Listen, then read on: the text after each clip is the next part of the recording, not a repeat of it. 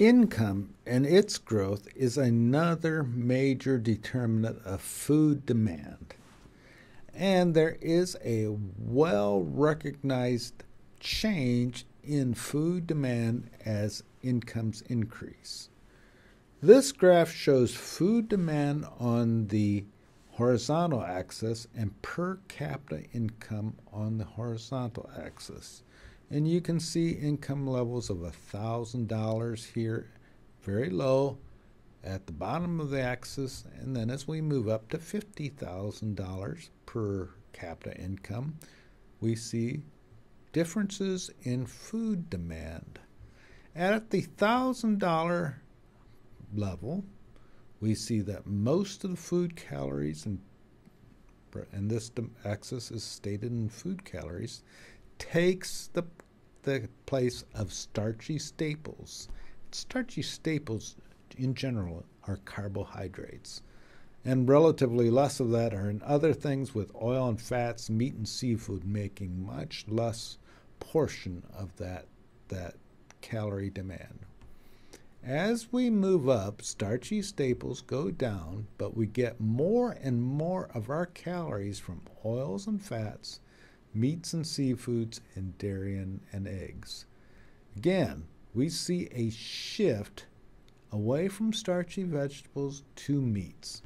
Total calories increase, but more and more of them are coming from animal based items than vegetable based items.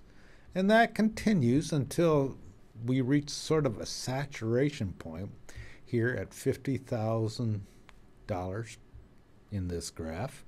And then we've reached this level of starchy staples, and everything sort of remains constant after we reached a certain income level.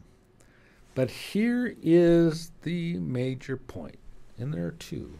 One is we, as we increase incomes from low levels, our calorie demands increase. And second, more and more of that comes from animal based.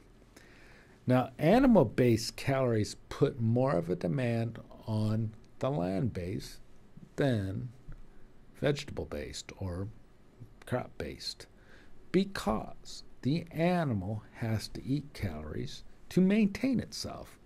So if I get one calorie from a animal or meat, many, many more, usually to the, at least to the ratio of five to one of of land-based calories are needed to get that one calorie of meat demand. So as we increase meat demand, we greatly increase the need for crop production. Again, because animals eat feeds which are produced on, on, on fields.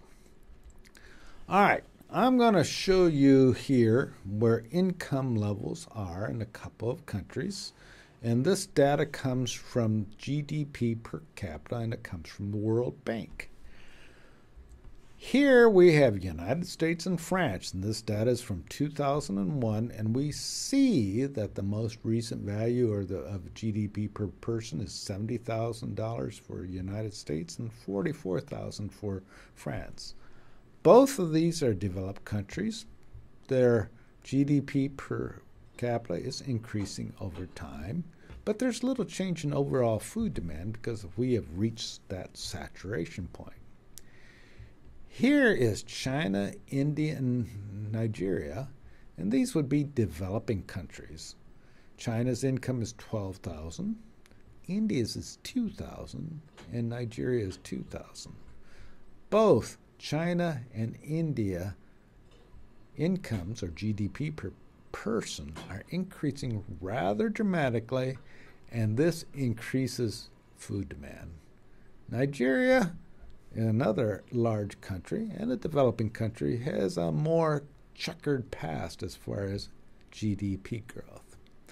As long as this increases because they're at low levels, we see those countries at this part of the graph, and as they increase incomes, they will tend to eat more meat and require more calories.